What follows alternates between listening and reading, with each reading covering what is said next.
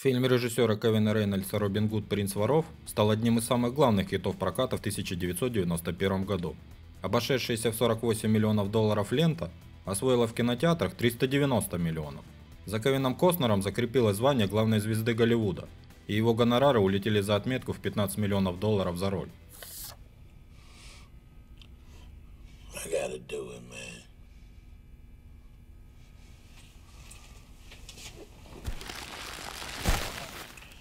Именно после огромного успеха в прокате фильма «Робин Гуд» в Голливуде родилась известная шутка о Кевине. Звучала она как-то так. Если вам захочется снять экранизацию телефонного справочника, просто пригласите Кевина Костнера на главную роль. И экранизация телефонного справочника станет главным хитом проката. На начальных этапах разработки фильма «Робин Гуд. Принц воров» от главной роли отказались почти все голливудские звезды.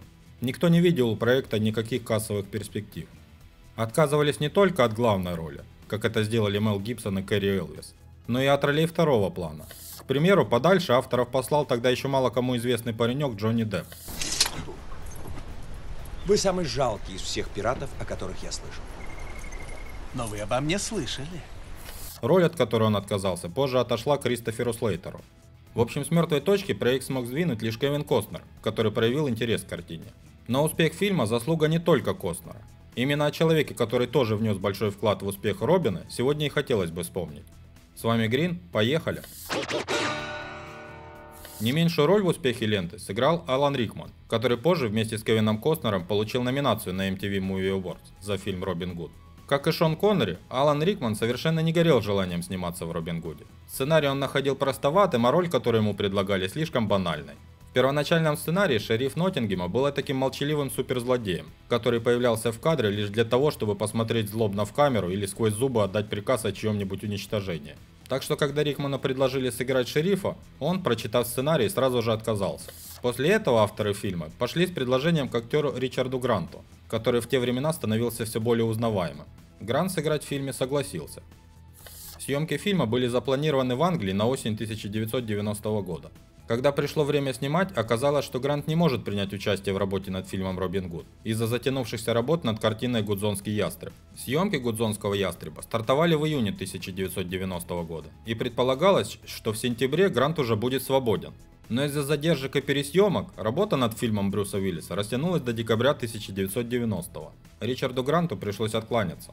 Оказавшись без главного злодея, режиссер Кевин Рейнольдс и продюсер Пен Деншем снова побежали к Рикману. Алан Рикман отказался от роли шерифа во второй раз.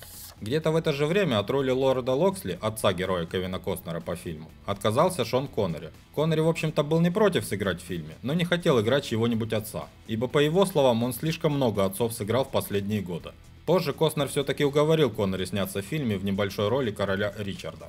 После второго отказа Рикмана создатели Робин Гуда оббежали почти всех актеров Голливуда, игравших злодеев. Но кто-то не мог принять участие из-за занятости на других проектах, а кто-то считал, что роль слишком незаметна и отказывался. Создатели фильма оказались перед выбором – брать на роль центрального злодея совершенно неизвестного актера или переносить съемки. Так как перенос съемок грозил потерей нескольких миллионов уже потраченных на подготовку, от этого варианта отказались сразу. А неизвестного актера в роли шерифа Ноттингемского не хотел видеть Костнер. В третий раз к Рикману с режиссером уже пошел Кевин Костнер.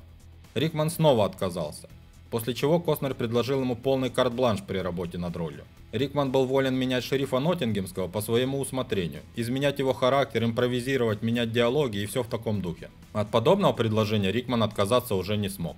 Тем более подобные полномочия сопровождались самым большим гонораром актера за всю его карьеру.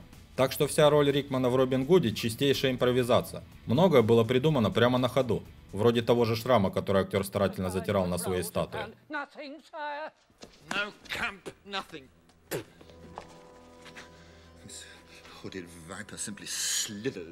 Часть диалога в фильме для Алана Рикмана написал его большой друг, драматург Питер Баркс. Барк считал, что сценарий ужасен и его необходимо разбавить юмором. Именно благодаря ему в фильме появились эпизоды вроде назначения времени женщинам. Что самое забавное, после тестовых показов ленты Костнер сильно сократил роль Рикмана. Просто зрителям шериф Ноттингемский очень понравился, и все считали, что на его фоне герой Костнера несколько теряется. Из-за этого на Костнера после съемок обиделся режиссер фильма Кевин Рейнольдс. Но их дружба этот нюанс не разрушил. Крест на ней поставил их следующий совместный фильм «Водный мир», но это уже немного другая история. Здесь же, по итогу, даже несмотря на действия Костнера, мы получили лучший фильм о Робин Гуде, а заодно и одного из лучших антагонистов в истории кинематографа. Спасибо за внимание, подписывайтесь и оставайтесь на связи.